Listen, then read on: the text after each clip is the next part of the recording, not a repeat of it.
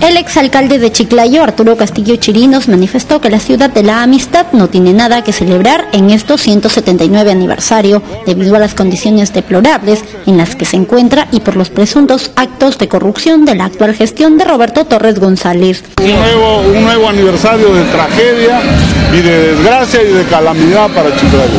Es lamentable las condiciones tan deplorables en que estamos viviendo con una corrupción gigantesca en el gobierno municipal y en todas las dependencias que dependen de él y que lo más lamentable es que el pueblo de Chiclayo no reaccione y se mantenga indiferente frente a semejante tragedia.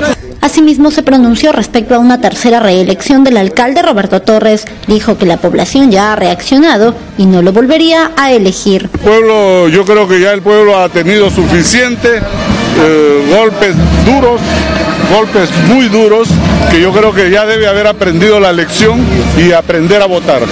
Castillo Chirinos reafirmó en que no será candidato en las próximas elecciones municipales. Además, señaló no considerarse un politiquero barato. Politiquero barato.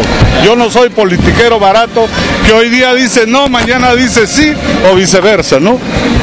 yo creo que mi palabra es seria, definitiva y terminante. No hay posibilidad en otro punto de sus declaraciones, consideró como un hecho escandaloso la sentencia del Poder Judicial que anuló la condena de seis años por el delito de colusión al exalcalde de José Leonardo Ortiz, Javier Castro Cruz. Bueno, es un hecho, otro hecho escandaloso de la justicia peruana, que igual que ocurrió, eh, son hechos sin precedentes, han, han este, anulado una sentencia estando en huelga el Poder Judicial.